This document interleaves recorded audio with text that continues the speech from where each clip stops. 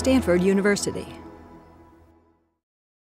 Lecture 10 of Stanford CS 193P, spring of 2020, is all about demo. All demo all the time today. This demo is mostly about presenting views on screen. We already know how to do that somewhat. For eaches will bring views on, on screen and off screen. Also, if else's inside of view builders, those make views come and go. But now we're talking about large groupings of views, views that might take over the entire screen, views that might be driven by their own MVVMs, right, having their own view models, which we have not seen an app yet that has multiple view models, but we're going to see that today. We're going to take emoji art to the next level. It's going to have multiple view models, and of course, most large programs have many view models. As usual, these things that I'm showing you in the demo are just intended to introduce this functionality to you in context. That's why we do memorize an emoji art, so you have a context to see this functionality introduced to you. Still no substitute from going to the documentation, reading about things, try to understand them. That's a lot of why we ask you to do the homework, so you have to really figure out how to use these things. Here's a, list of what we're going to do today. I'm not going to go over this, but just for quick reference, you can always go back and say, huh, what was I supposed to have learned in this demo? It's a very long list, as, as you can see, and a lot of very important things in this list as well. So without further ado, let's get started. This demo is going to be all about putting views on screens in different ways, alerts, popovers, etc. But before I dive into that, I want to show you one little thing that we could have done last time that I think is worth showing, just so you understand these property wrappers a little bit better. Now you remember that we wanted to initialize this chosen palette using our document's default palette. But we couldn't do that here because this observed object is part of what's being initialized, and so we can't during initialize do it here. Now it turns out we can't really do it in an init either. So if we had an init that took the document and just said self.document equals that document, then unfortunately we can't even do this right here. And you'd think maybe we could do that because now we have the document, we can just set our chosen palette. But the thing is here, we are in the middle of initializing, and this needs to be initialized. I'm kind of surprised this even compiles, although I could imagine a cool feature where this would compile and actually work, but it doesn't. What we have to do instead here in our init is initialize the actual variable being created by this state, which if you'll remember what that variable is, it's underbar chosen palette. And this underbar chosen palette is of type state. It is this state struct. That's what this line of code actually creates. So we can initialize it by creating a state. And in fact, we're going to create a state whose wrapped value is the value we want. So this document's default palette. This is a way to initialize your state in your initializers by setting this struct directly. Hopefully you don't have to do this very often, and I'm imagining this is going to be more elegant ways to do it in the future of Swift, but this really does show you what this is creating. It's creating this underbar var, which is one of these. So we don't really need our on appear. Our on appear worked fine there actually, but this is more of a kind of an educational thing about what's going on with these property wrappers. And later in the quarter, I hope to actually, maybe we'll create our own property wrapper and then we'll really understand these things. But in the meantime, this should you, help you understand it a little better.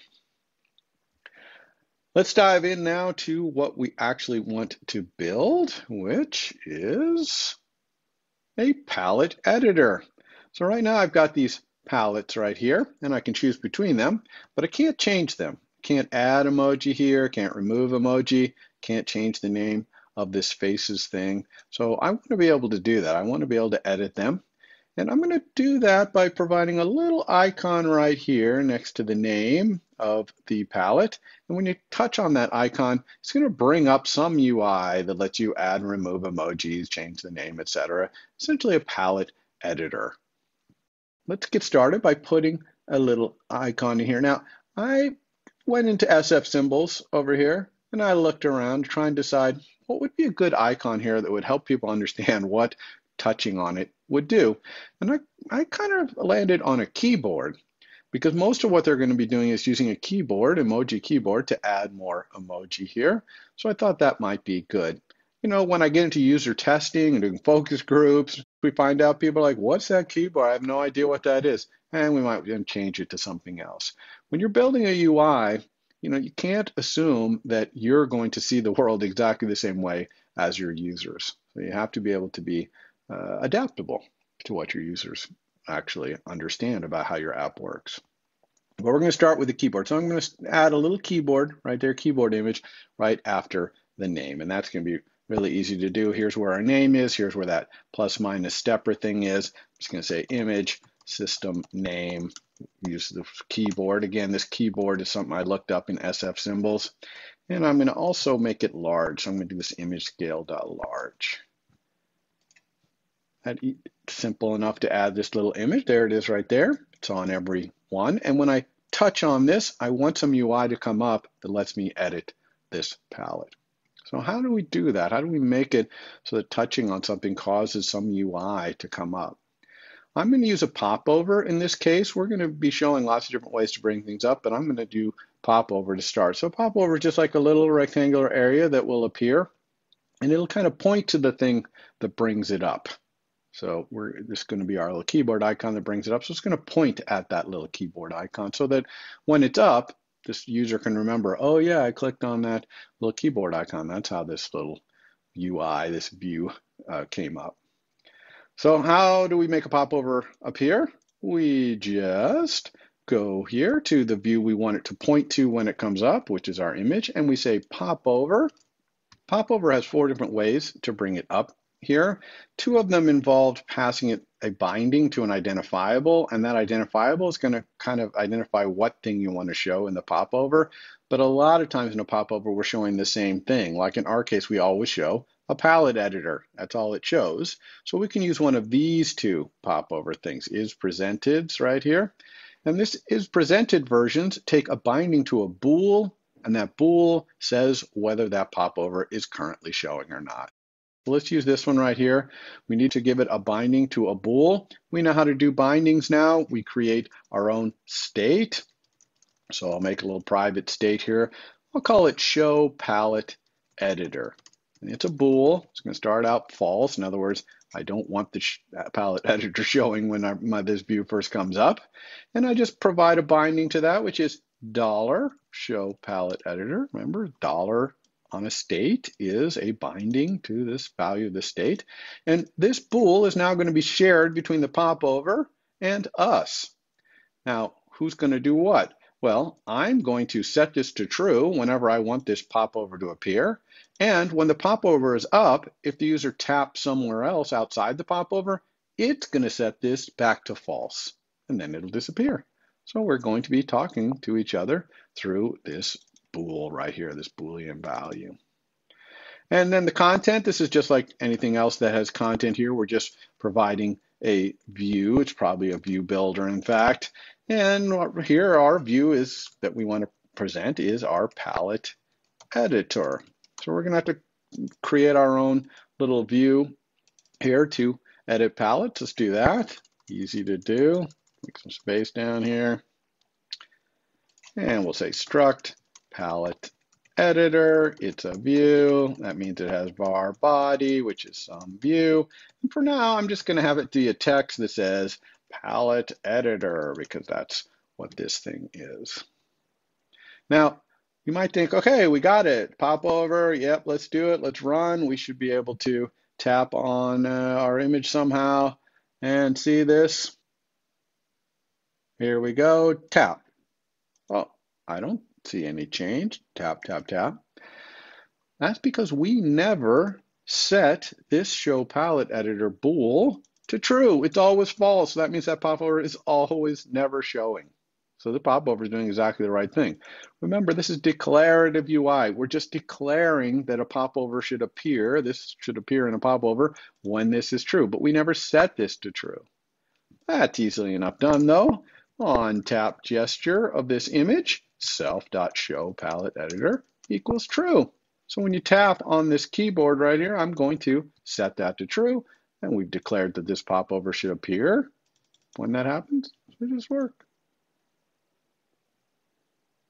Here we go, ready? Boop. There it is, our palette editor. So I tapped on that, I set it to be true, and so that popover is declared to show when that thing is true. And similarly, when I click anywhere else outside of there, the popover sets that variable back to false. So that's how we're, again, communicating with each other. And see the little triangle at the top of the popover?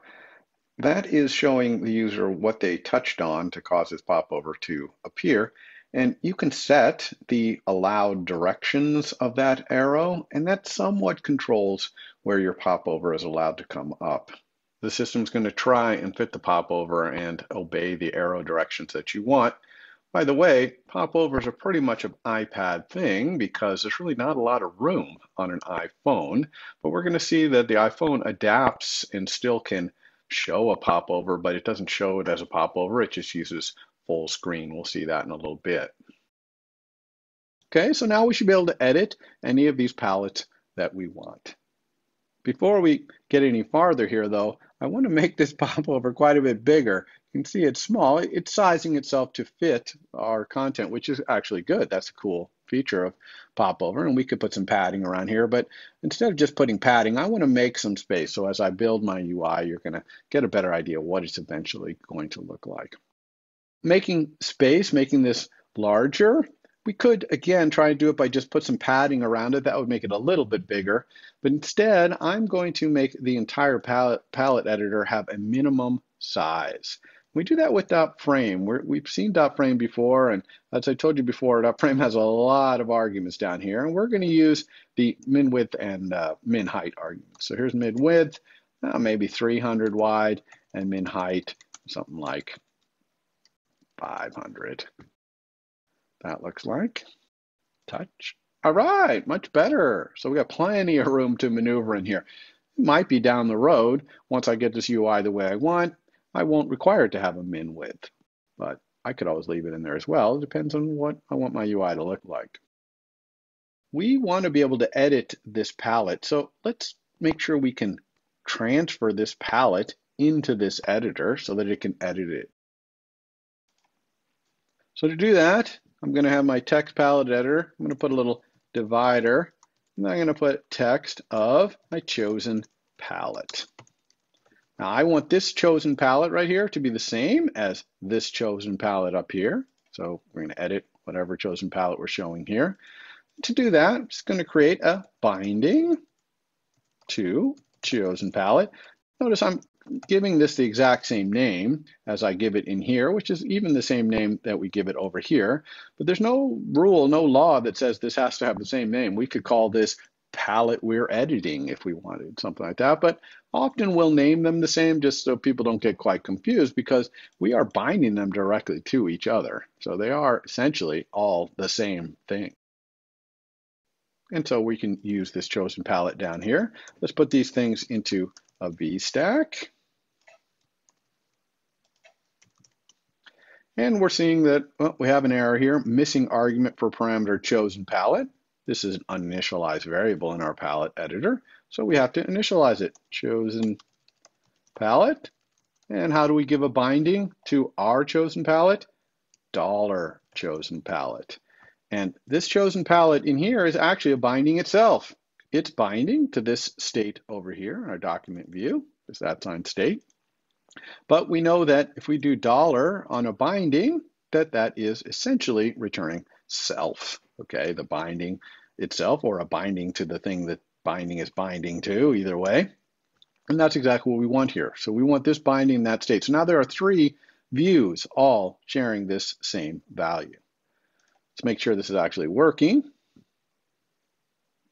And I'm going to touch on this keyboard whoa, there it is. And it is showing this one right here. Let's go to a different one and touch on it. Woo, it's showing it. So our palette editor definitely got a hold of the palette that it's supposed to be uh, editing here. I'm going to work a little bit on layout of this. I want this thing that says palette editor to really be like at the top, like it's some sort of title or something to my little view instead of having it in the middle like this. So let's let's do that layout really quickly. I'm going to make this title have more of a title kind of a font, headline, and we'll give it some padding around it. And then let's make it go to the top by putting a spacer at the bottom that just puts a whole bunch of space in there. And let's see what that looks like. It's getting close. A little too much spacing in here. We got the padding around this, and then we've got the spacing of the V stack, it looks like. So we can get rid of that. But if I'm doing no spacing, maybe I want this thing to have some padding of its own.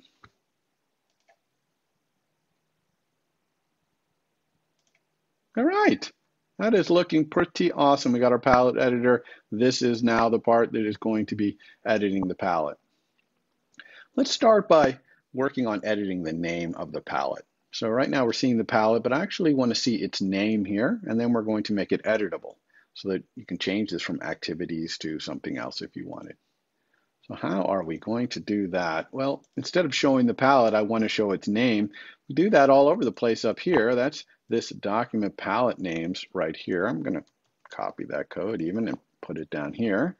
The problem is we don't have the document down here, right? We have the document up here, but not down here you might, your first inclination might be, oh, let's create another binding and we'll bind up to here. But that is not how we share view models. This document is our view model, and instead we're going to share it using environment object. So our document is going to be an environment object, and we're going to do it this way with environment object because we're presenting this thing in a separate view. Anytime we're going to present something in a popover or any kind of separate view, we want to pass our view model using environment object. And we could pass it as an observed object and then have another argument here to palette editor, but turns out there's a problem when you do these separate views like popovers and things like that, they get their kind of own world to live in, and you have to pass into that world this view model or it won't work right bottom line. So how do we set the environment here? We use this dot environment object. And this is, again, we saw this in the slide, this is how we pass our environment. And in this case, this is just our own document being passed as the environment for this. These environment objects, and also outside environment to an extent, are really exactly what their name implies an environment in which this view is working. Right? It's, using, it's working in an environment where this is their view model, essentially. So now we have the document. We should be able to get the name out of there. Let's see what that looks like.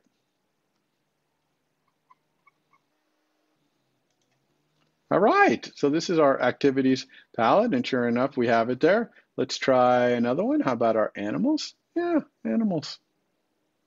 Our next step here is to make this animals editable. We want to be able to change this animals to be something else. So how do we make this text editable? We're going to need a little different view than text for that. We need a text field. A text field takes a little bit different arguments than a text. The first argument it takes is its label.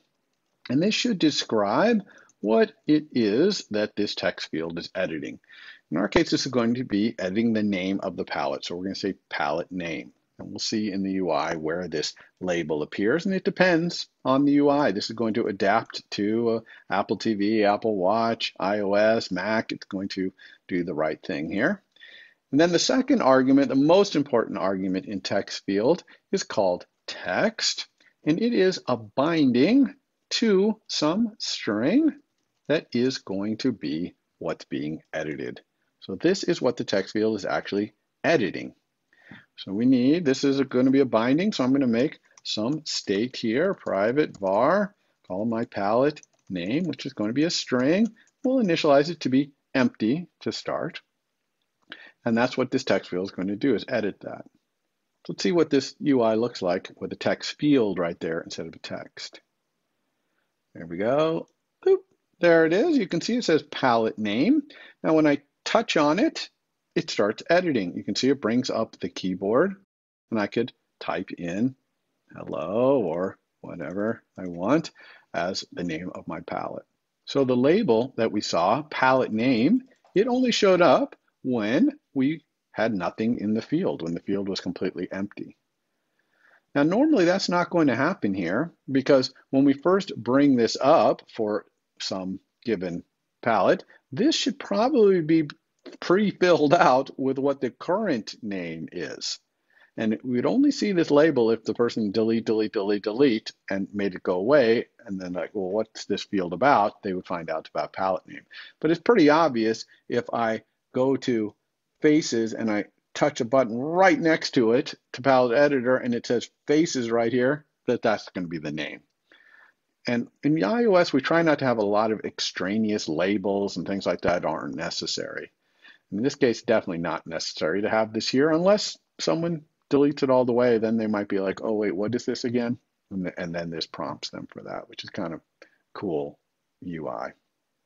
So how do we get this to come up with this saying faces right here instead of being blank? Well, it's because we're this state, this palette name, this string that we're editing, we initialize it right here to nothingness.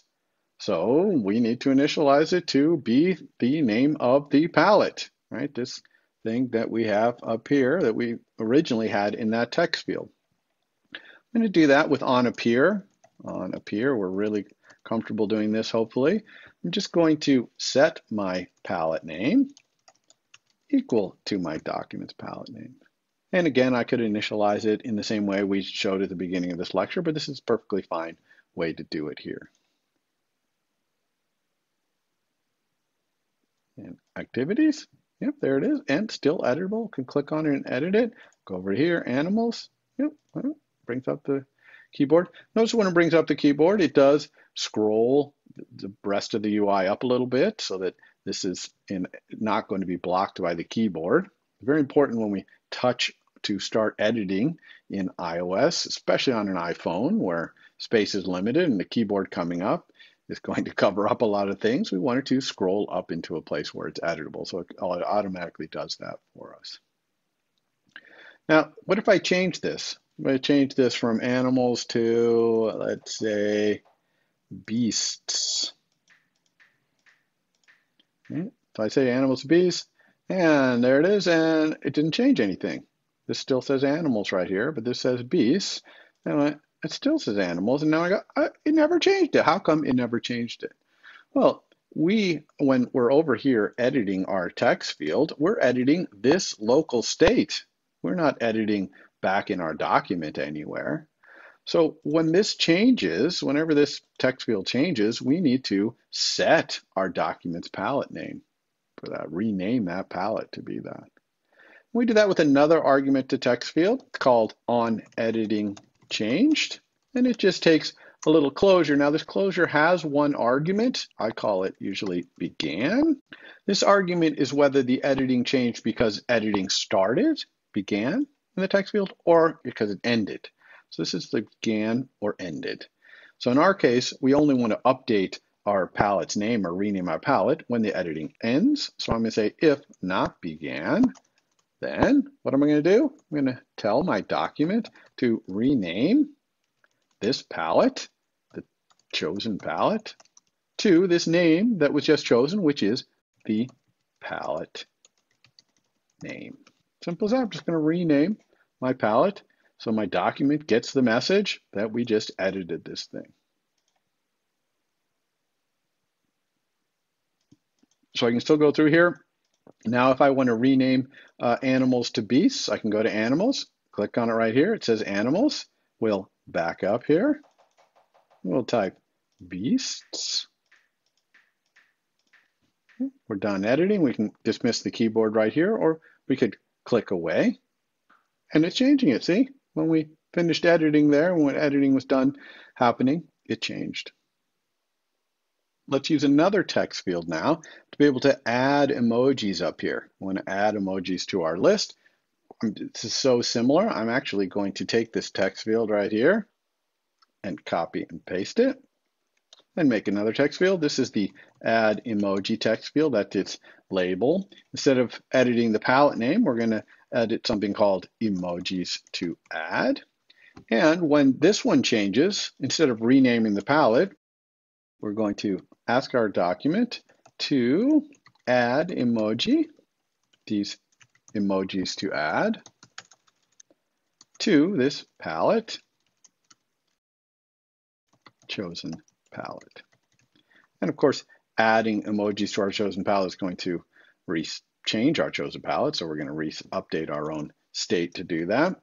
And also, let's set our emojis to add here equal to empty because we just added these emojis. We don't really need to leave them in the emojis add. We're not going to add them again. In fact, my add emojis here in my document doesn't allow you to add the same emoji twice. It just moves the emoji to the front of the list if you add it twice.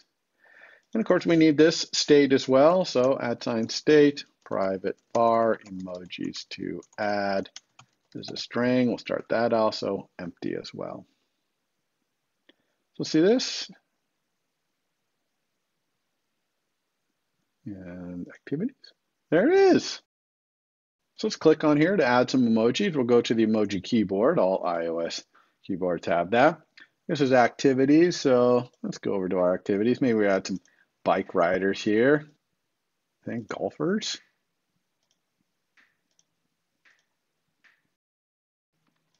And there it is, added it right there to our document, no problem.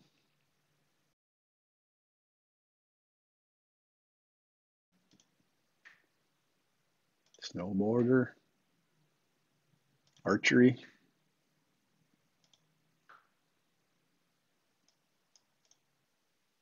When we start having a UI though, that's adding multiple things here, and we're even gonna add another section for removing emojis, we don't want them to be kind of open in outer space here, just spaced out with no kind of cohesion to them or no form.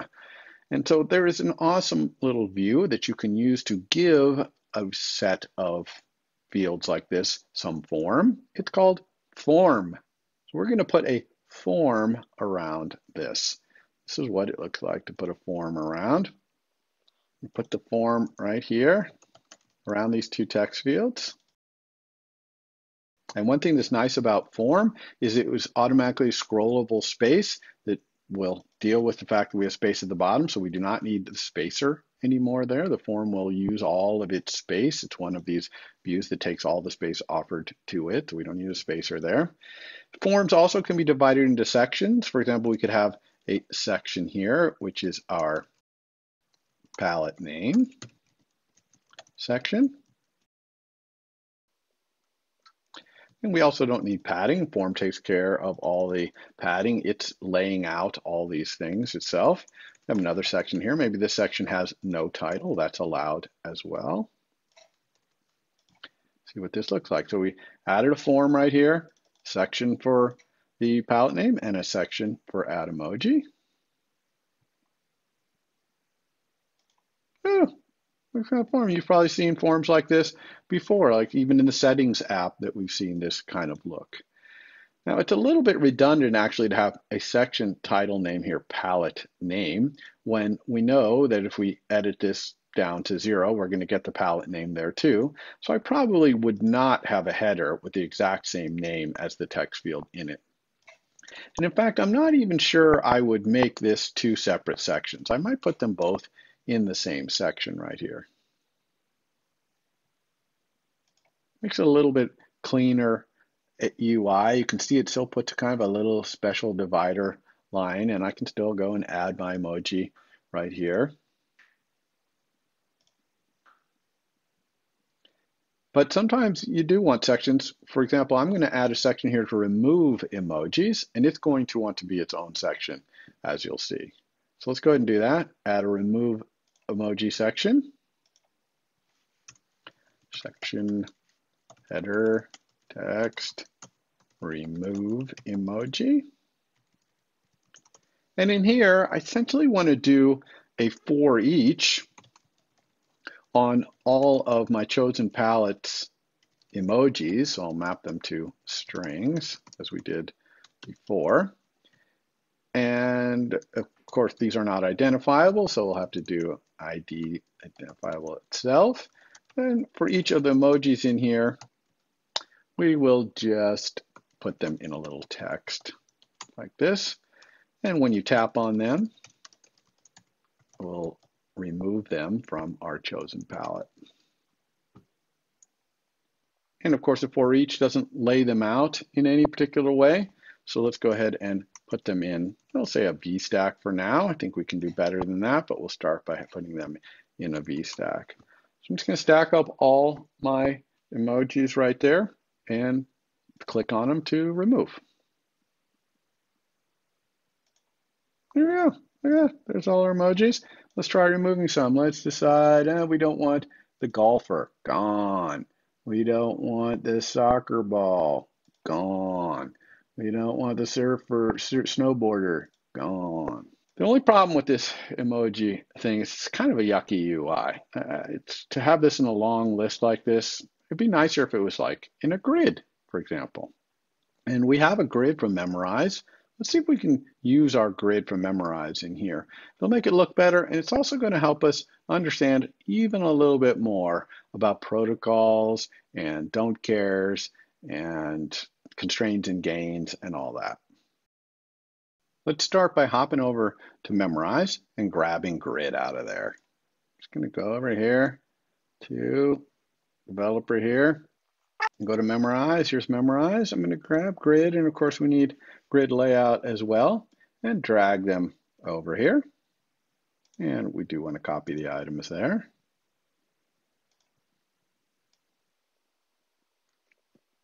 So this is the same grid we had in Memorize, no changes to it whatsoever. And I'd like to use it instead of this VStack and for each. Remember our grid kind of combines that. So I'm going to say grid get rid of one of these curly braces. And this would be really nice to do like this. Unfortunately, this is not going to work because our grid doesn't understand how to do this ID self business, right? Our grid requires that everything that's passed to it be identifiable. See, Ident item identifiable. These items have to be identifiable. So let's take a little time out from building our UI and understand how we could change our grid so that it did take an ID argument here that let us specify what key path to use to find the ID. Just like we do here, we want to pass this. So what is this little thing right here. We've talked about it a few times. It is a key path. It's something that just specifies a certain var to access on an instance of an object. In this case, I'm doing self because these are strings. String.self is the string itself, and that's a good thing to be identifiable. So that works great. So how do we say what this type is? Because if we're going to have this passed as a type here to our ID, we have to say what it is. Its type is key path, and it has two don't cares. One is the kind of object that you are looking for a var on. In our case, this is item. This is the things that's in this array over here, key path item. The second don't care is the return value of it. Now, we really don't care what you use as your identifiable, so our return type is going to be a don't care for us. I'm going to call it ID. I'm going to put it up there. And so that is how we can specify this ID. And now we have this ID. Let's go ahead and set it as a var, hold on to it. So we're going to need a private var that's of type key path item ID. And almost there. We just go down here to here's our for each, and we will just pass this ID, our own ID var right there. This should work, right? It's pretty much everything we would need. But we have a little bit of a problem. We got a constraints and gains problem here. It says here, generic struct for each requires that ID, this ID, conform to hashable, which kind of makes sense, right? What does a for each do? Looks at all its items, and for each of one, it builds this view for it which is great, but it probably has to keep these items in some sort of dictionary or hash table or something so that it can know which view is associated with them, etc. So it's perfectly reasonable to expect that ID has to be hashable here.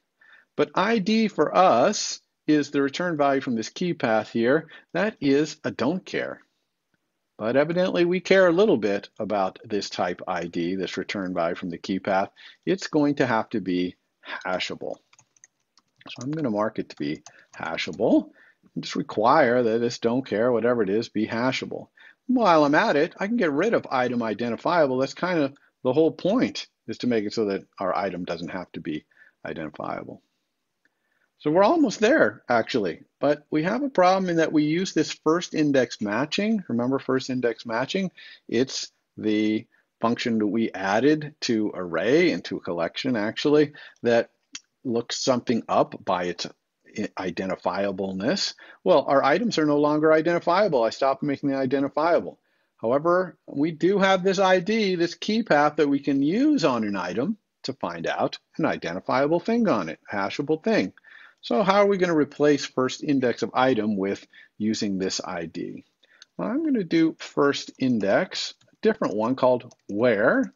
And where takes some closure here. And this closure is given each of the things, items in the array. So we'll use the built-in argument, which be dollar zero. And it lets you do something with it and return true when it matches we want this key path out of our item, and we want to compare this key path out of the dollar zero in the items array to see if they're the same. So here's how you take an item and use a key path to go get the value of the var that that key path is talking about it. You say open square bracket, key path, colon, and the key path. So this expression right here means call this key path var on this item and give it to us. And we're just going to check to see if that equals dollar zero's key path of that ID. A lot going on here. Hopefully you guys are following this. I would say you don't really have to understand what I just did here to use Swift UI, but if you do, you're really understanding this constraints and gains, what's going on here. But let's take this even one step further. This, unfortunately, has kind of broken the old way we used to use grid. Now we're forced to do this ID keypad, key path. Even if our item is identifiable, we still have to provide this argument. This the argument doesn't default to anything. So let's look how we could take this exact same code that we just modified and change it so it still works with the old world. And this will really get you with the constraints and gains. So I'm going to make an extension to grid. And in this extension, I'm going to require that items be identifiable. So that's only going to be in this extension that they're identifiable. And then I want to add a new init where it takes the items, just as we did before, and does not take that ID argument, but still, of course, has the view for item. And I want to be able to call this other init, the one that I made down here, with all the right arguments to make this just work. So let's try it. Got the items, got the ID. So we know that identifiables have a var on them called ID to make them identifiable. So what if I just say backslash item.id and then view for item? This work to just do this? Oh, not quite says here key value item.id cannot be converted to a contextual type ID. In other words, our ID don't care is not necessarily the same type as this identifiables.id, which is its don't care for the identifiable. But we can actually force that too by saying ID, its type, equals the item's ID. This ID right here is the don't care for identifiable, and this ID is our don't care. So by forcing these to be the same, we make it so that we can call this init. This is the kind of thing you can do with constraints and gains. A little bit advanced topic here, but it makes it so the old grid initializer here will work and the new grid will initializer will work. All right, enough of a timeout there. Should make it so that our grid right here will work. And let's see what happens when we do this. All right, ready, good. Oh, well, it's not vertical anymore, it's horizontal. And this is actually the grid doing what it was asked. It took this little space that it was offered, this line, which is what forms offer their things there, took this little space and it made all the emoji fit in there. And this is the best way it could make them fit. What we really want to do is to offer this thing more space. We want this to be taller. We want this little white rectangle to be taller. I'm going to do that with frame as well. I'm going to give this thing a height. And I'm going to have its height. I'm going to give more height when there's more emoji. The more emoji you have, the more height I'm going to give you. And that should make them be spaced out about the same, no matter how many emoji you have. If you have a thousand, I'm going to give you a lot of height. If you have just three or four, I'm just going to give you this tiny little height. So how the heck do we do that? Very simple. This grid, I'm going to give it a fixed height. I'm going to just have a var for that. Var height, CG float. I'm going to calculate it.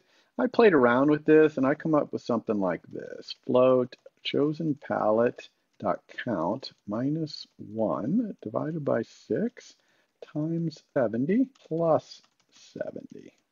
That seemed to be the kind of best fit for making these things spread themselves out. You can go play with that math yourself later.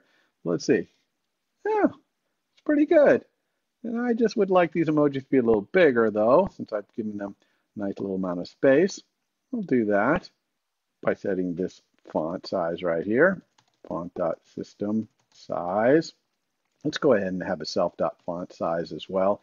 These things down here are essentially drawing constants, height, and also let our font size be, let's say around 40. Seems like a good size for those things. There we go. And it should still work here. This is still a grid. It knows how to show things. So let's get rid of the football, tennis ball.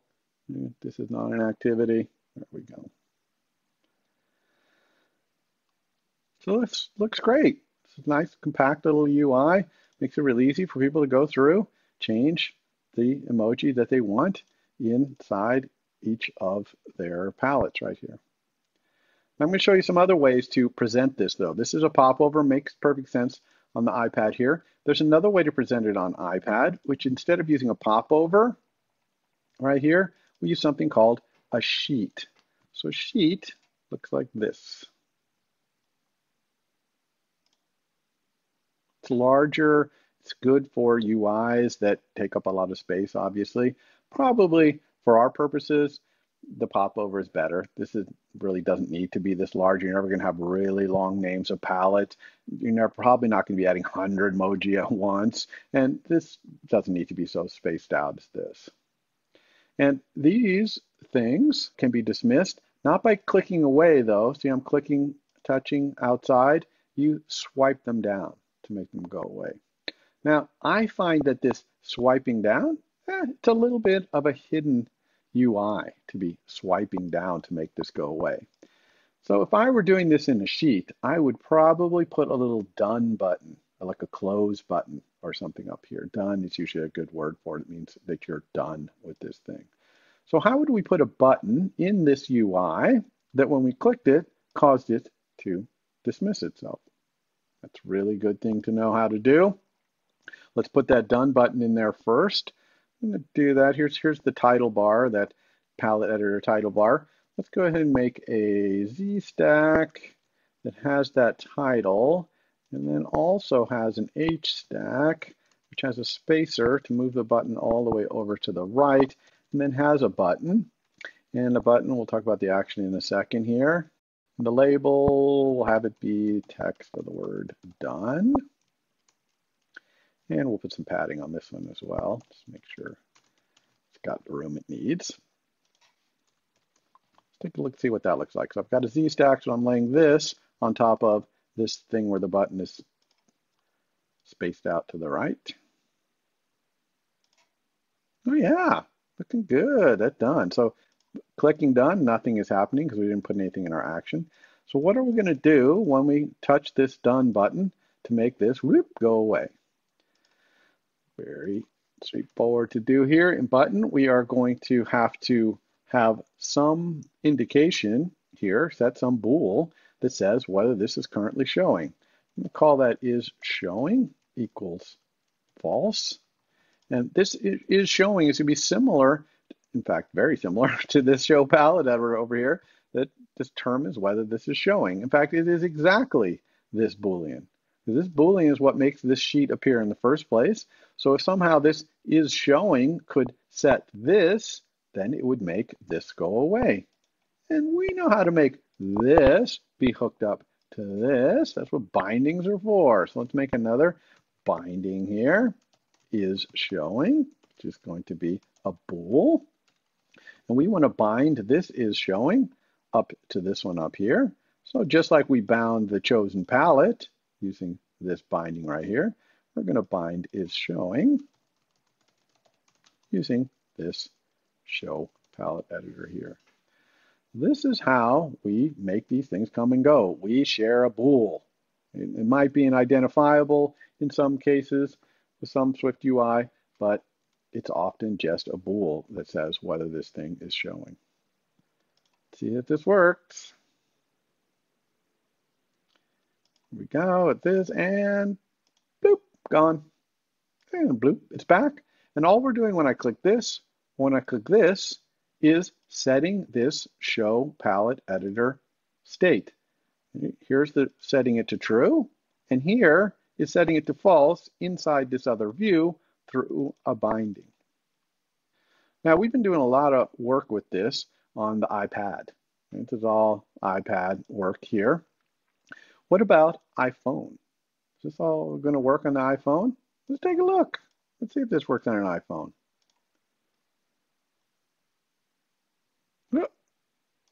Woohoo! Look at that. It works unchanged. Here's that sheet.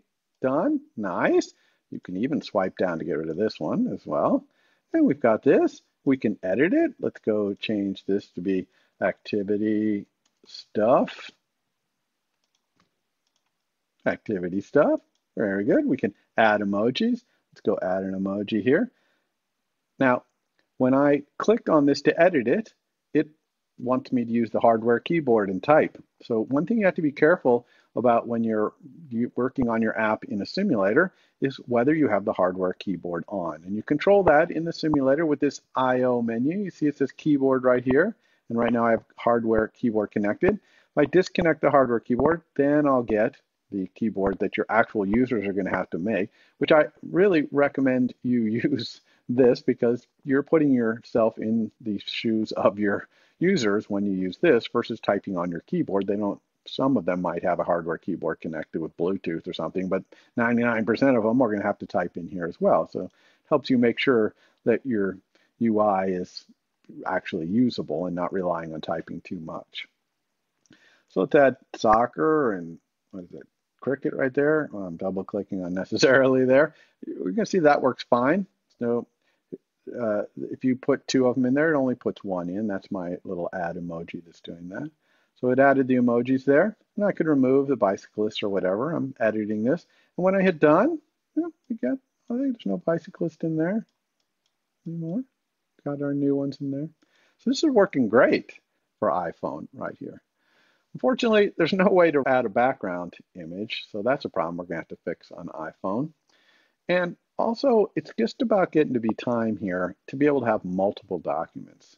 Right now, we always just have this one untitled document that we're editing. That's true on iPad as well. So our next step is going to be able to, to add some UI here to have a list of documents, different emoji art documents that we can click on and it'll show us each of the documents. And this is going to allow us to learn something more in uh, Swift UI, which is how to have multiple view models in your app. Because right now we have a view model that represents an emoji art document. That's great.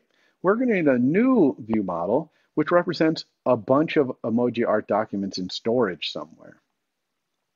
So let's dive into this by creating our view model for a store of emoji art documents, stored emoji art documents. Now, I we've already seen how to create view models it would be a little bit repetitive to go do that. So I actually created my emoji art document store here. We're going to drag it in and take a look at it, copy it in. It's kind of the world's simplest little storage thing here. But notice that it is a view model, class, and observable object. And this view model has a name. So this is like the name of the store. We'll probably call it our emoji art store or something like that. This is where the things are stored. But then it also has the name for all the documents in the store. You can get the name of a document. See, this is just an emoji art document. This is our other view model. So in a way, this is a view model that has other view models as its part of its content here. But you can set a name for a document right down here. You can get all the documents that we have names for, which is nice can add documents, the title or not. It'll use untitled if you don't specify a name, and you can remove documents down here. Believe it or not, this whole store, this whole thing, only has one var that's actually doing any storage. It's a published var, of course, because when it changes, we are an observable object. We're a view model. We want our views to find out. And this store is just a dictionary with emoji art documents as the keys and their names of the documents as a string. That's it. That is the entirety of the storage in this view model. And that's really all we need. We just need the document names. That's and we can access them out of our store. By the way, it's very common to have view models that are essentially stores, storage places for things. Our view model that we've had for memorize and that you had for set are really more logic oriented this is really not a lot of logic here. I guess naming these things is kind of logic, but mostly it's just storing things. So you'll see a lot of view models that have the word store in their name. Now, I've done a couple of things here is I've used the publisher stuff that we know about to have it autosave into user defaults. Again, user defaults are the only storage mechanism we know so far, so I'm having to use user defaults. I wouldn't store these documents in user default in the real world, but it's simple to do. One thing about storing thing in user default is we know that user defaults only stores property lists. And this is most certainly not a property list because this is not one of the prescribed types, string, int, date, data. It's none of those things. It's its own custom class. So I had to write a little bit of code down here. I put it as an extension to dictionary that converts this dictionary to a property list and back. So this gets it as a property list, and this creates from a property list. That way, I could have user default set object for key and set uh, and get the object for, get the object for key and set the object for key as a property list. Now, and you can look at that later how, how I did that. It's kind of kind of cool, uh, but not super important because again, we're talking about interfacing with an old API here in user default, so it's not super important to understand what's going on in here, but I'm using this as thing that I talked about, and we're using any, so this is really kind of old stuff. Anyway, you can see I have a lot of red here, a lot of error, and it's mostly this error that's causing the problem right here. Generic struct dictionary requires that emoji art documents conform to hashable. Anytime you want to be the key of a dictionary, you have to be hashable. Now we've seen this hashable protocol before. We didn't see how to implement it, but we saw that it exists. It was over here in our grid. Okay, for each is essentially creating up a little dictionary with these items and all these views as the values. And so that's why we had to say that that ID into this thing, it's got to be a hashable thing so that for each can put them in a dictionary or whatever it's doing inside there. So we have seen hashable before. But now we're going to have to actually implement hashable in emoji art document because we want emoji art document itself to be hashable. So here's emoji art document. It's a view model. It's a class. And our requirement is that it be hashable. Now, what is in this hashable protocol? It only has one function in it. This function is called hash, as you might guess. And you can see it right there into hasher. So this hasher is just an object that's given to you when you're being asked to hash, and it only really has one function in it. This hasher has combine, and you give it something here that is itself hashable, and it combines possibly multiple things inside your object to make it hashable. So we're combining hashable things to make something hashable. Now, what could would combine here? What makes us unique enough to be hashed, right? To be put into a hash table. Uh, well, of course, our emoji art document itself is quite unique. It's got emojis in the background in there. So we could make this hashable and then combine here have emoji art. But it's a little bit overkill to do that and actually might not be that good in that every time we change our document, our hash is going to change. It'd be a lot better if we had some unique identifier that we could hash in here. So I'm going to do that. I'm going to create a little unique identifier here. I'm going to call it ID, and I'm going to make it be a UUID. Now, I mentioned UUID before. This is a little struct that generates a unique thing. That's really all it's for, is to create a unique thing. Now, the reason I called my little unique identifier ID is because now I can also say that I'm identifiable, which might be nice someday. Why, why call this something else when it is a unique identifiable thing? Might as well get identifiable for free here. So I'm just going to combine that and hash that. So my hashing is basically going to be the hashing of this. Luckily, UUID is a hashable thing itself. That seems like that should be enough, but we got more complaints up here. Emoji art document does not conform to equatable. So to be hashable, you also have to implement equatable. In other words, there's an inheritance relationship between hashable and equatable, those two protocols. So what is in the equatable protocol? I'm actually going to use fix right here to give us protocol stubs, basically show us what's in there. Boop. And it's just this one function. It totally makes sense when you think about it. It's a static function on the type called equals equals. Remember that Swift can use any, it could use emoji as the name of a function. So equals equals is just perfectly reasonable uh, name of a function. That's all this is, the name of this function. It takes two arguments, a left-hand side and a right-hand side, both of which, of course, are emoji art documents. And it's returning a bool whether these two things are equal. So for us, that's really easy. Left-hand side.id equals right-hand side.id. If those IDs are the same, this unique ID, then this must be the same document. But a word of warning here, this strategy is really only going to work for a reference type, for a class, because we're all seeing the same version of it in the heap. For struct, it's a value type, we're copying it around all the time we actually need to be able to see is this copy equals equals to this other copy? And we wouldn't want to do that just by the ID. That's what identifiable is for. We actually need to check and see if all the vars are equal to each other. And same thing for hashing. We want to hash all the vars in there. And in fact, that's the default implementation of hashable in Swift is for structs to check all the vars. And we do this in our emoji art model. We have a little substruct there, the emoji, and we marked it hashable, and hashable includes equatable. And yet we didn't have to do equals equals or hash. We just used the default version that we got from Swift, which checks all the variables. But for a class, this is a nice, really very, very simple way to get equality and hashability and identity all in very simple code. And we can use this little bit of code for one more thing, which is that right now we store our emoji art documents in user default, but we store them as this untitled. So they're not each separately being stored as something else. But now that we have a unique ID, we can still store them in default, but instead of under untitled, with that unique ID.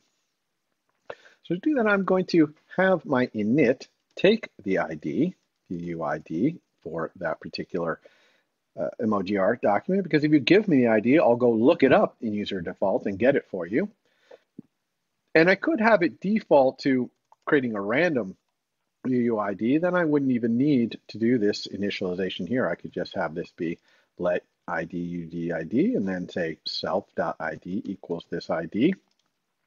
This defaulting, we haven't done it much in our demos, but hopefully you know about that, that you can have a something default, and then someone could call my init with no arguments, and it would get some new identifier, which makes sense. If I create emoji art with our emoji art document with no arguments, I wanted to get its own unique ID. I'm going to show you another way that you'll often see this defaulting done, which is instead of setting equal something, it'll make it an optional, and set it equal to nil, and then do this defaulting right here.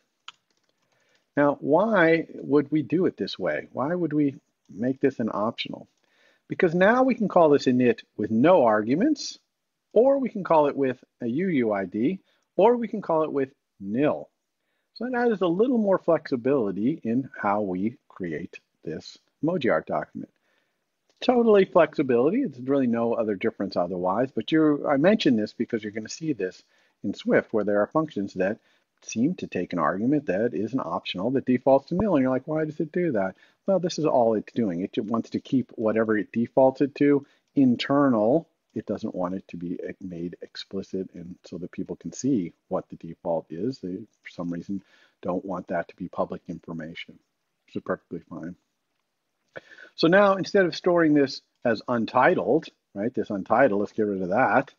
Instead, I'm just going to have a little let here, defaults key, and we're going to have this be emoji art document dot, and I'm going to use this little embedding of strings here to put my ID in there as a string.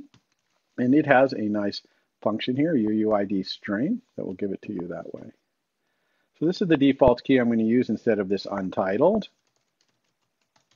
in both when I'm getting it there and when I am saving it.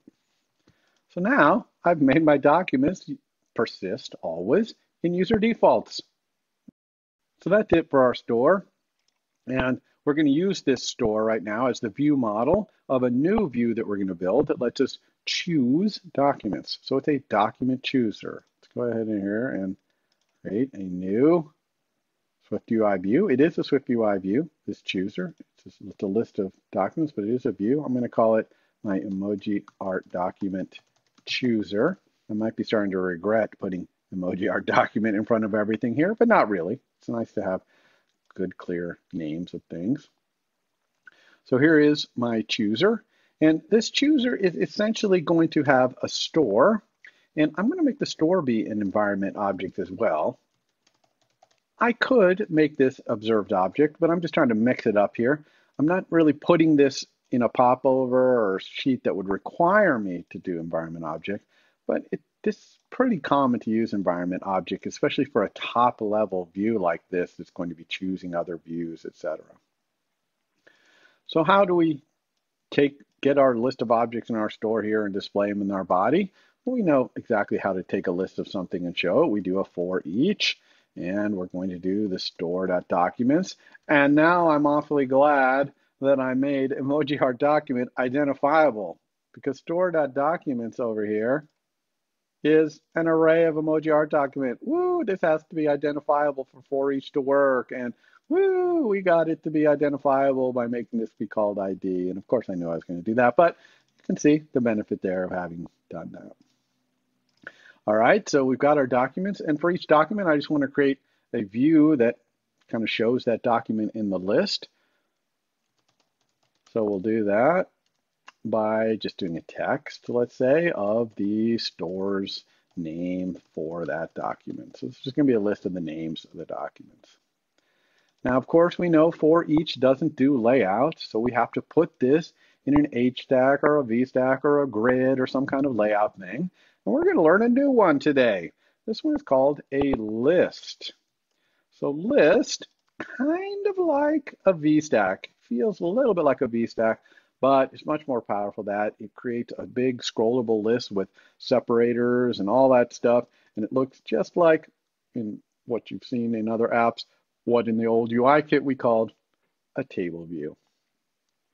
Now, we have to pass, our, and we'll see this in just a second, we have to pass our store in here. And also I want this document chooser, when I run my app right now, it's showing me an emoji art document, but I want it to show this chooser instead. So I'm gonna have to go back to my scene delegate here and not do this emoji art document view and instead do an emoji art document chooser.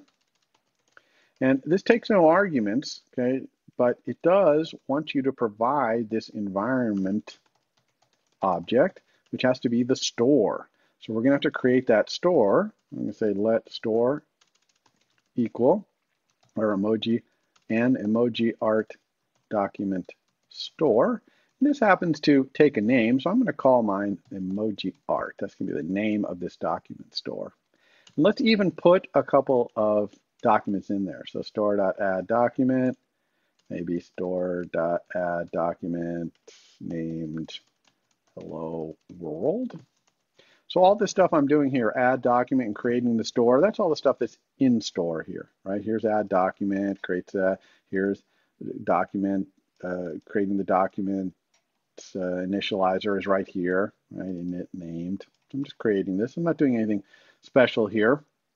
Just creating the store. And then I'm setting the store as the environment for my chooser so that my chooser has this store and it can go through all the store's documents and show the names. It's going to do it in this list UI. So let's see what this list looks like. Woohoo! There we go. We've got our two documents. Now, this is a scrollable list, so we can scroll it up and down. So this store itself is persistent. So if we go back to our scene delegate over here and delete these add documents and rerun, they'll stay in the list right there. Now this is great, but when we tap on these, it does not show us these documents. Hello World and Untitled, it's not showing them to us. To make it so that clicking on things navigates to a different view to show us those documents, we have to embed our list right here in another view called a navigation view. The navigation view, which very often, almost always, we're putting a list inside a navigation. It's not absolutely required. Sometimes we might put a form in here, possibly. So our navigation view has only changed our view a little bit here, but still not making it so if we tap on these, I'm tapping on these, not making any difference. That's because these are just texts right here. Text, when you tap on them, they don't know how to navigate. So we're going to wrap these also in a view called a navigation link. Now, navigation link has quite a few ways to create it, but in all of them, there's a very important argument you can see right here called destination.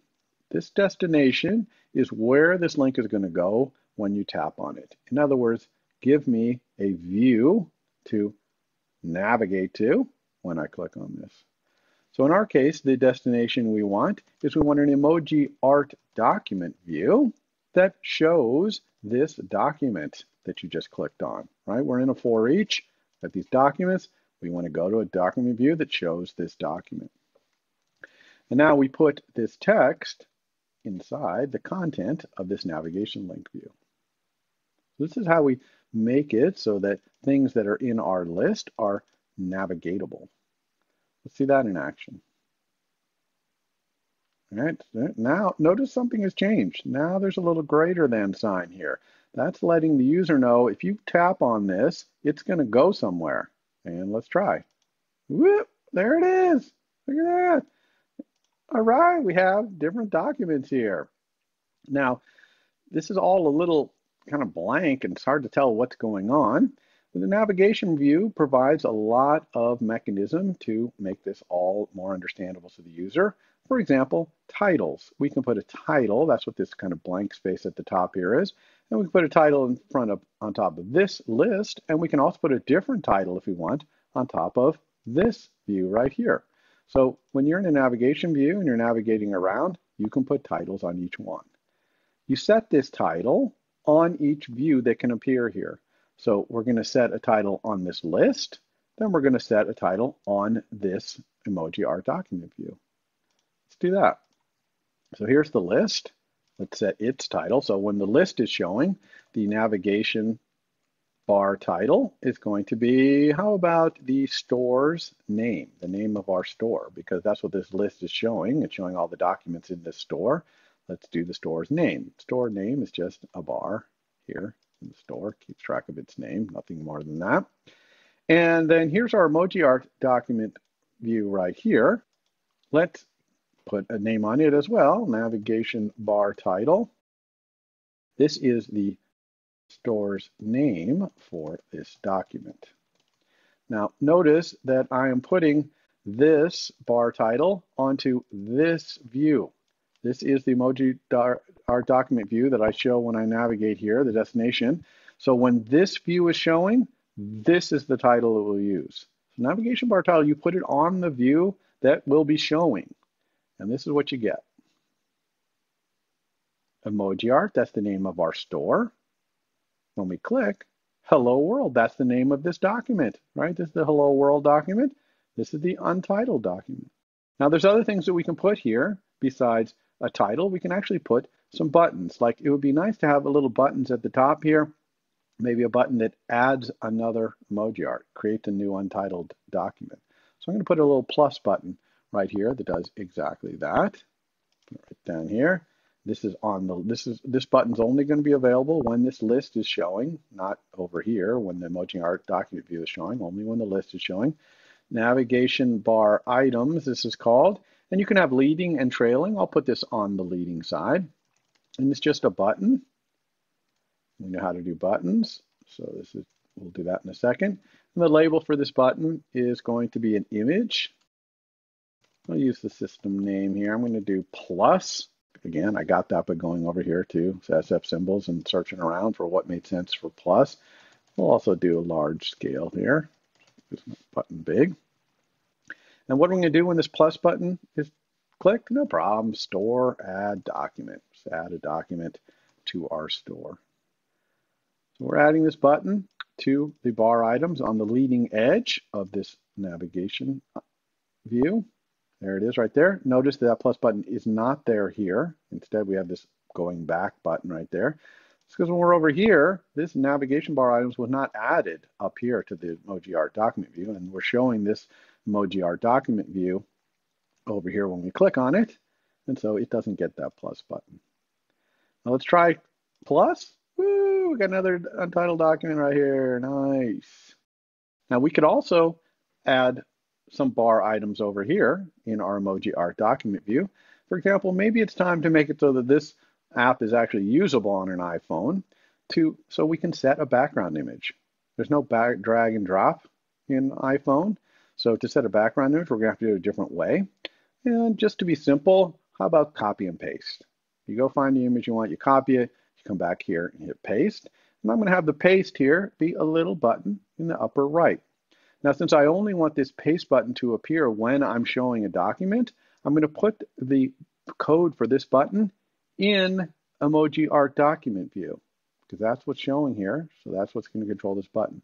So I'm going to go to emoji art document view and let's go down, maybe right here after on drop and add navigation bar items here. This time I want it to be on the trailing side of it. And let's just make another button. And this button with the action in a second. And the label, let's have the label be an image system name.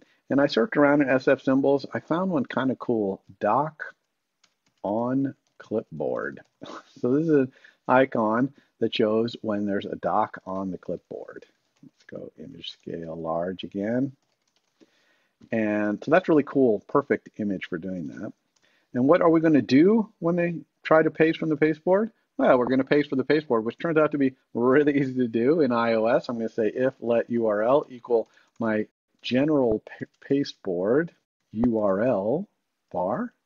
If that's not nil, then I'm going to set my document's background URL equal to that URL. So let's understand the pasteboard a little bit here. Pasteboard.general is a shared pasteboard that represents the pasteboard on this device. It has a lot of different vars like string, URL, other kinds of types where if the thing on the pasteboard can be represented as that, it returns non-nil here. So if there's a URL in the pasteboard, we're going to try and set it as our background right here. See if that works. So I have a hello world here. Oh, there it is. Click. That's not doing anything. Let's go see if we can put something in the pasteboard. Uh, let's go get my favorite image over there, which is not this one. I like this one right here. There it is. I'm just going to press and hold and say copy. So say copy an image. iOS, go back here and paste. Woo! It worked. Uh, I can zoom in. Nice. Can I? I can even play a little soccer in the front yard right here. Okay, excellent. So this is fantastic. Fortunately, when I did this one, I found another little bug in our emoji art. Watch this. go back out and let's go back. Oh no, there's my emoji, but I lost my background image. And that turns out in our emoji art background view, we did a pretty good job when we zoomed to fit of protecting against the image being zero size. But we forgot to protect against the view being zero size.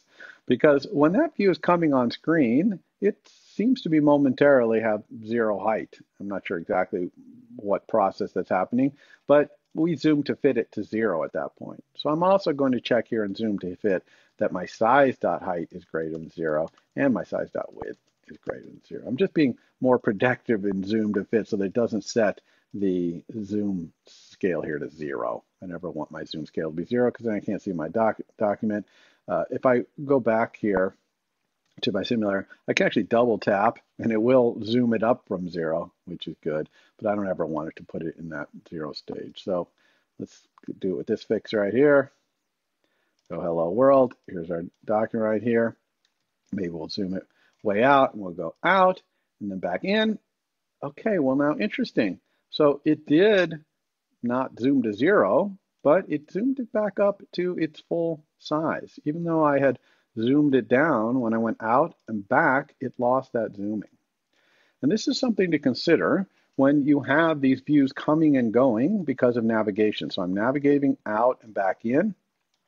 When you're doing this, these views are being reconstructed and their at sign state is mostly preserved, but some kind of state may not be preserved. And for example, our scaling state is not preserved across doing this.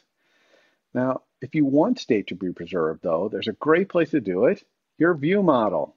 Okay, no matter how what is happening on the view side, if your view model is holding on to it, it's going to be preserved. Now, that's not the same as putting it in the model. I don't want the scaling to be part of the model. The model is the house and whatever emojis there are, but it doesn't include how scaled it is.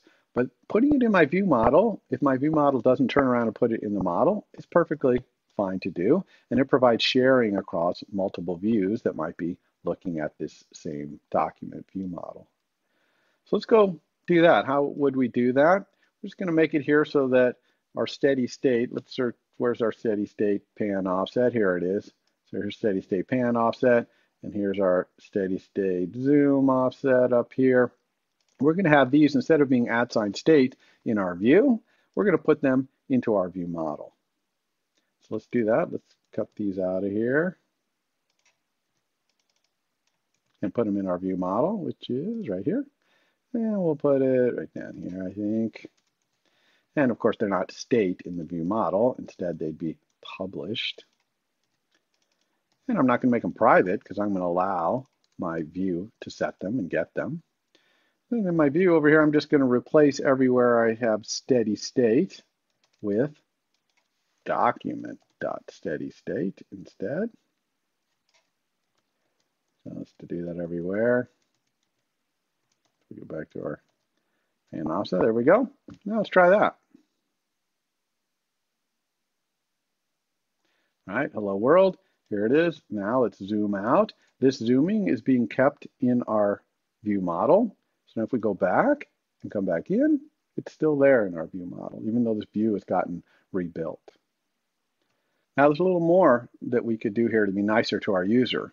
One thing is this little button, a lot of times you click it and nothing happens.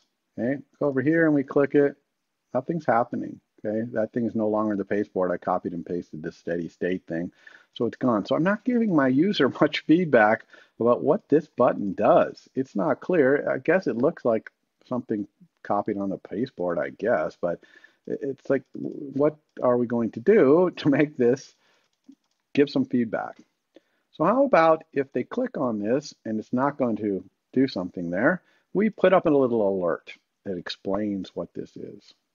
So that gives us an opportunity to learn how to put alerts up. And putting alerts up, quite easy. We're going to go over here and put it on this image. If you click on this image, we want to put an alert up. Now, alerts are interesting little view modifiers here. They start out looking a lot like a popover. You can see that they've got the identifiable binding version if you want to put different things up in your alert depending on what's going on. But it also has this nice is presented, which is the one we're going to use. And we're going to need to have some sort of Boolean var that says whether this alert should be up. And I'm going to call it explain background paste.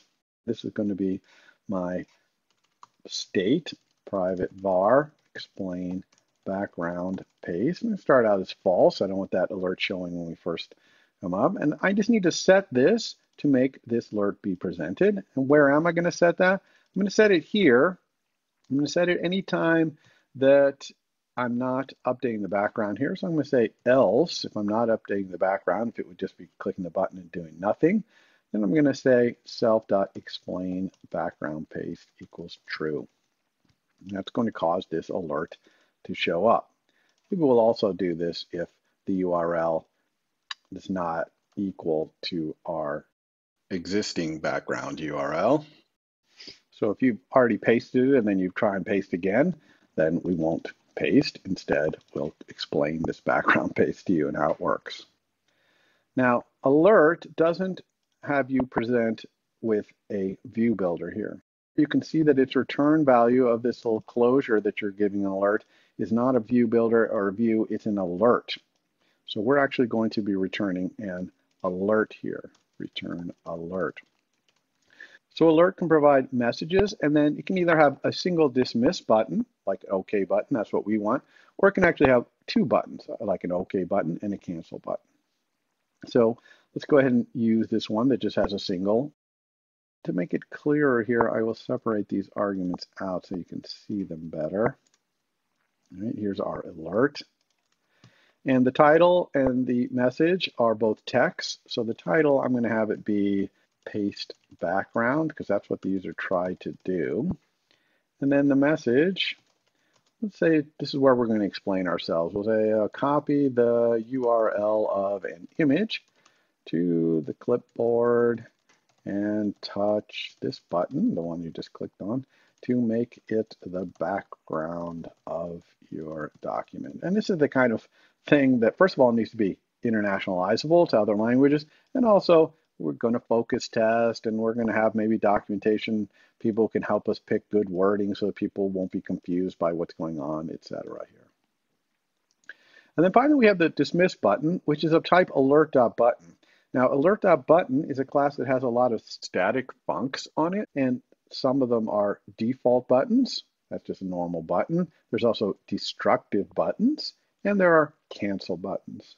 So in this case, we just want the default button and the label for it. is just going to be a text that says OK. And this also takes a closure that will be executed when this button is pressed. Now, in our case, we don't need to do anything when this OK is pressed. We just want you to dismiss. And this default button, this dismiss button, will set this back to false for us. This dollar, by the way, always goes here. So we don't have to go in here and set this back to false to cause our alert to go away. It'll do that for us. See how this shows up in the UI here. Go back to Hello World. Here's our document. Click here. It says, oh, paste back a copy that's explaining to me, oh, what you what you're going to do. Oh, okay. So I'll do that. I'll go over here. This time maybe I'll go and get the image I don't like quite as much. This guy. Yeah. Copy this. Go back here. Now hit paste. Oh, it pasted it. But actually, this is a little scary that it pasted. This is kind of a low res version of our horses here because uh, it's like, oh, ooh, I didn't know it was going to do that. Wow, what the heck?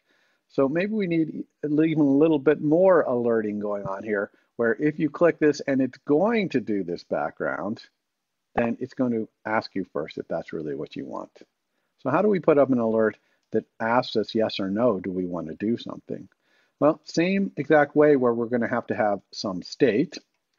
So I'm going to call this state, instead of calling it explain background paste, I'm going to call it confirm background paste. And then I'll just set this confirm background paste right here to true. Confirm background paste equals true. And now I need another alert right here, another alert that is going to respect, react to this being set to true. Now, something very important to understand about alerts. You cannot put two alerts with is presented on the same view. So I cannot put another alert on image right here. It has to be on some other view, or I have to use the other alert, which takes an identifiable. And that identifiable, usually an enum, is going to pick which alert to show, this one or this one. And I might well decide that instead of having this be a bool, I want this to be an enum that has explain or confirm. And then I will do my alert with the binding, being a binding to a state with that enum. That, probably will be a better way to do it than these two bools, uh, but for demo purposes, we'll keep going here. So where am I going to put this alert? Since I can't put it on image, I can put it almost anywhere. This is our geometry reader. This is our top level VStack. We'll go ahead and put it on our top level VStack, but it really doesn't matter as long as it's a view that's on screen at the time this happens. And I'm going to type this in really fast. There we go. And this one, similar, right? Alert is presented. It's using this confirm as the decision maker. Same title. Here it's saying replace your background with, and now it's showing you the URL it's going to use. That's kind of cool. It's in the pasteboard. And now I have a primary button, which is again a default text OK, but now I am providing a closure.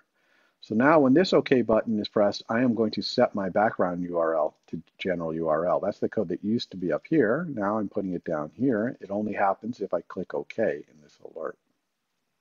Right? And now I have a second button, which is a dot cancel button. Remember, these are all alert dot button dot cancel. Swift is just inferring that because it knows this argument takes an alert dot button. So let's see this one in action. Go to hello world document right here and click. Oh, it's telling you copy the URL. Okay, I'm going to go do that. I'll go back here. Let's go back, go back to our favorite one. Copy it over here. And now when I hit this, it should ask me to confirm. Oh, replace your background with this URL. And I can either say cancel, no, don't do it. Or I can go over here and say, yeah, do it. So that's alert. So we've learned alerts, we've learned sheets, we've learned popovers, we've learned navigation views. There's a lot of different ways to decide how to build your UI here to get the information in front of the user as best you can. Now, one last thing I want to do is to have this view right here be a little more changeable. For example, I'd like to be able to delete items that I want, like to like swiping to delete or somehow clicking to delete. And I want to be able to rename my documents. Okay, there's no way to these untitles, I can't give them names. So how am I going to rename these documents? So let's do that. Turns out to be really easy to make delete work. All you have to do to make delete work, it's a function in for each. So if you, uh, in your for each, say on delete, it will give you what's called an index set. So an index set is kind of like an array of indices, and it's telling you the things that were deleted. Now, in, iOS, you're doing swipe to delete. This is always going to be an array with one thing in it, uh, but we're still going to try and write our code in general terms so that we can go through all of these things in there and delete them all. I'm going to write the code that does the delete of this store in a little bit of what you might call advanced Swift, but I'm just using the primitives in Swift, specifically in index set and in array, to write this code a little more succinctly. So watch me do this. I'm going to take the index set and I'm going to map it to getting from my store the documents at those indices. So now I have an array of documents at those indexes. And I'm going to ask that array for each of them, each of the documents that is, just ask the store to remove that document. This is a succinct way of basically saying, for all the things in the index set, just remove that document. I'm doing it by having a little map in between that maps the indexes to the documents. So this kind of coding right here, you, eventually you'll get used to doing this. Real Swift programmers are doing stuff like this. This is actually just as easy, if not easier to read than having two for loops here that are going through the index set and then going through the documents. That's like six or seven lines of code, a lot to read and parse, whereas this is much more straightforward to read. So let's see this in action. Anytime you have a delete there and you're in a list, I can swipe to delete. You see that? I just swiped left. Now, if I don't want to delete, I can push it back to the right, but I swipe to delete all the way and it goes away. Or I can swipe to delete partially and confirm by pressing that button. So that's how the delete works. Now, still add documents back here. That's one way to do delete, and it's a nice way to do it. There's another way, which is there's a special button in iOS that you can put called the edit button. And I'm going to put it up here in the trailing situation in this view. And this will put you in an edit mode where there are little delete buttons on each line. So how we do that? Here's the leading button for my bar items. I'm going to add a trailing button. And this is just going to be the edit button. Okay, so edit button is a SwiftUI struct. And when you put the edit button in here and you click edit, if you have a list here and there's a on delete on your for each, it will put you in this mode where you can delete by clicking these instead of doing swipe to delete.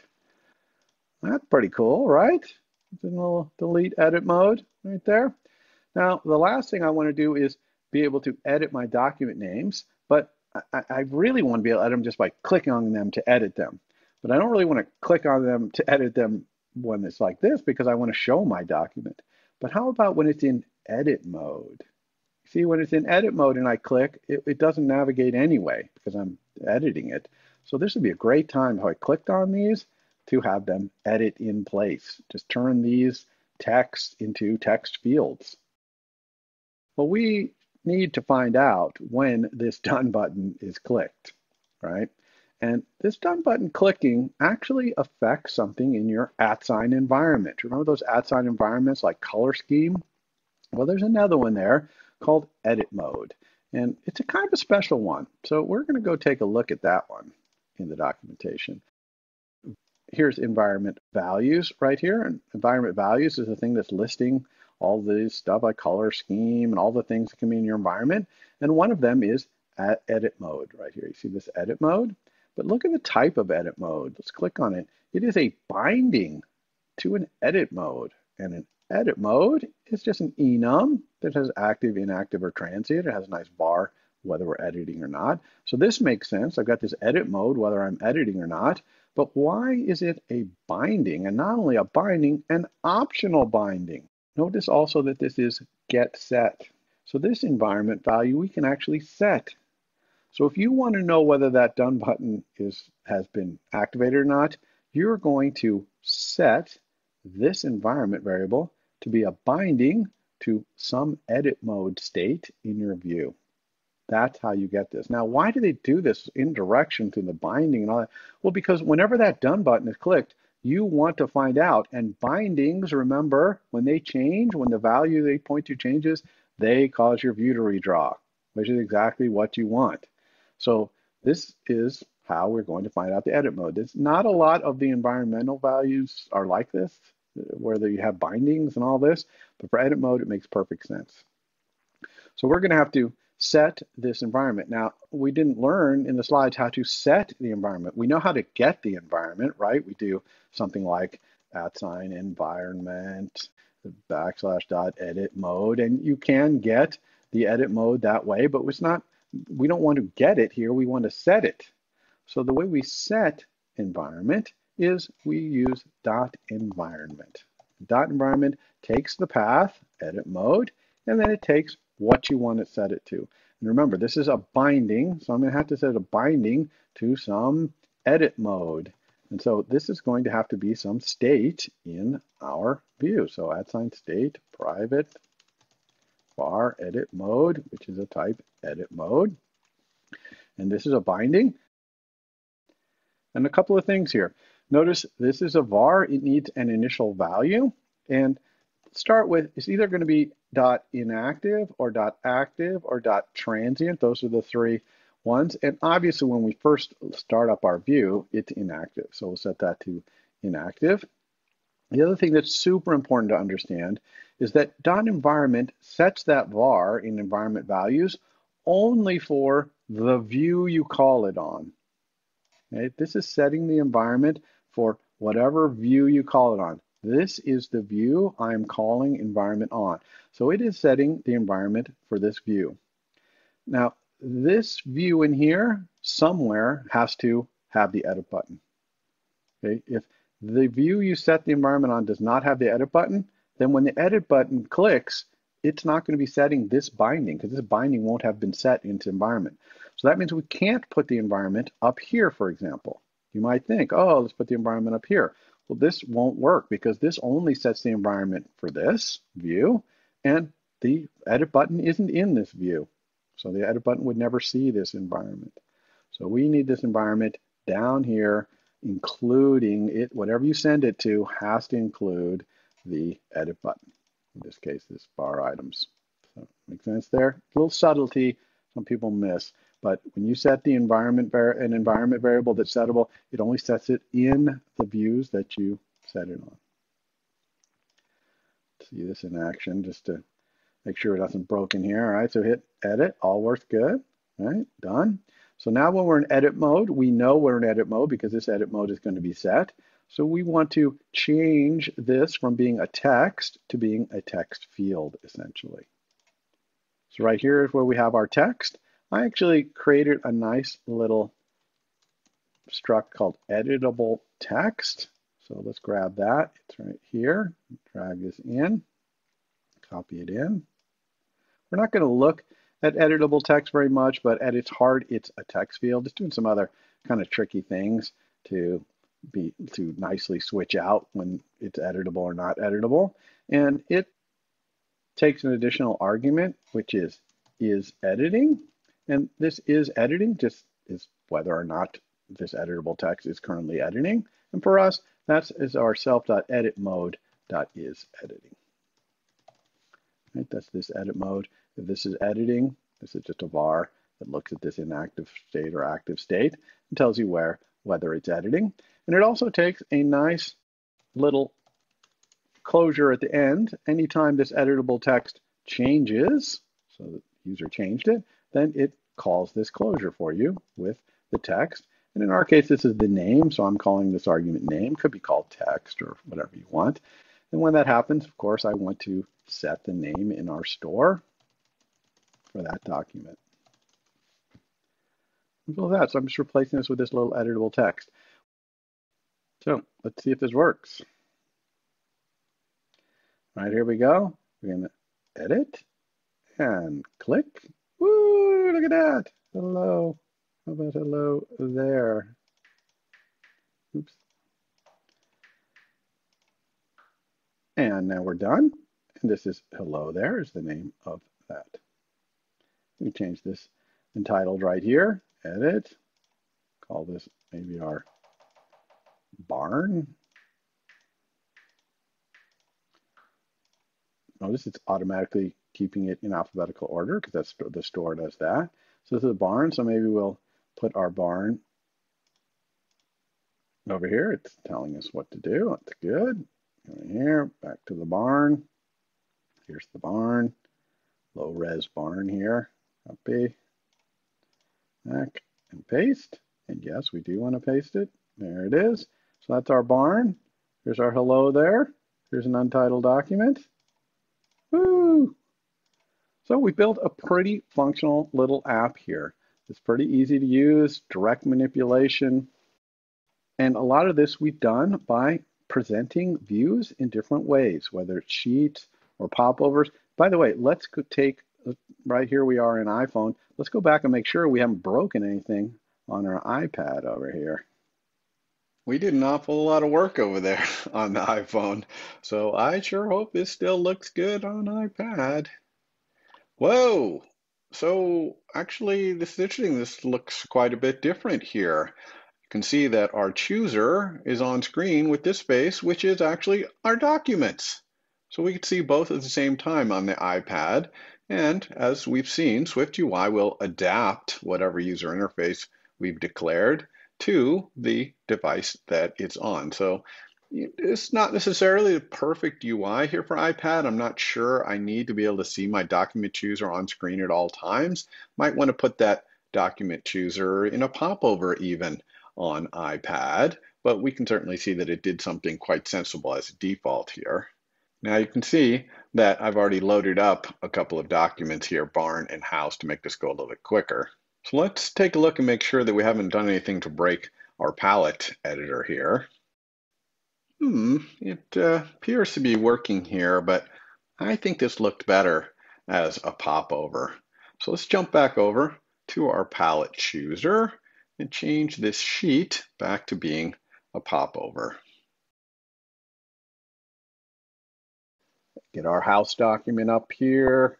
Zoom in a little bit. And let's click, huh, I'm tapping here on this keyboard. It's not working. I'm clicking on this. Why is this not working to click on this? Well, the problem is that we're zoomed way out. And even though we clip to draw in this space, our view is still large. And when we're tapping here, trying to tap on this keyboard, our view happens to be in front. And so it's intercepting, even though it's not drawing up here, it's still intercepting the taps. So how do we fix that? How do we make it so that this doesn't get in front?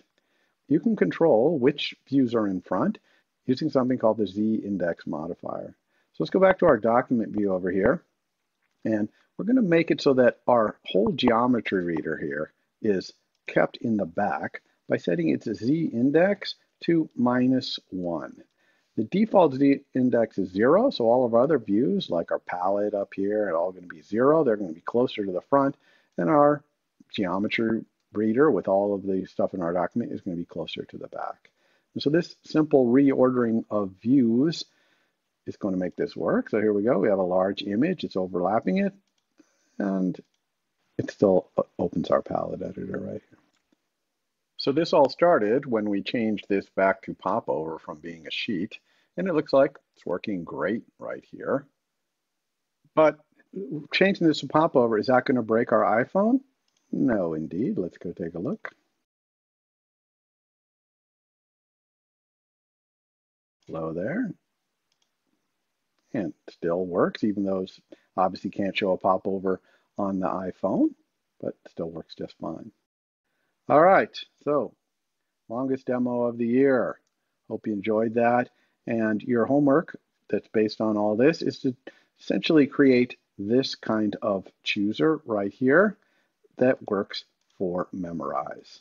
So you're going to have your themes, your memorized themes up here chosen from. And when you click, you're going to play a game based on that theme. And of course, you're going to make it so that your themes are editable with some sort of editor similar to this. You can change things like the color of the theme and the emojis in the theme, that kind of stuff. So you're going to be doing something quite similar to what we're doing here, but just in Memorize instead. So good luck on that homework, and you know where to find us if you have questions. For more, please visit us at stanford.edu.